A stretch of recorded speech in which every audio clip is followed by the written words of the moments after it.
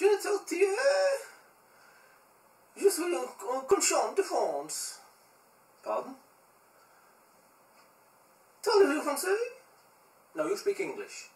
Ah, I, I, I forgot uh, you was uh, English. Okay. My name is Pierre and a uh, from France. What part of France do you live? I live in a little village just outside uh, Paris, where I live on a farm. And it is from this farm where I was taken by aliens a few years ago. You was abducted by aliens? Yes, I was.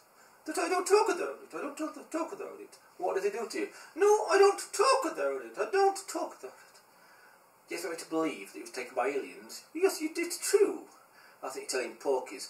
No, it's true. They took me and they experimented on me. They injected me. They cut me, and I came out in a rush. Rush of bacon, yeah. You are being funny, aren't you? No, that is not true.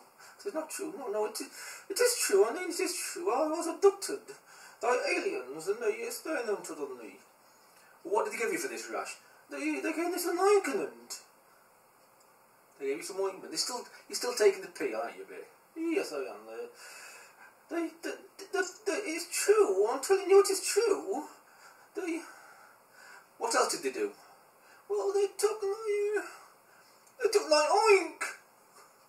They took my oink and gave me this silly voice instead. Are you sure I didn't give you a voice? No, you didn't give me a voice. Are you sure? Yes. How can you be sure?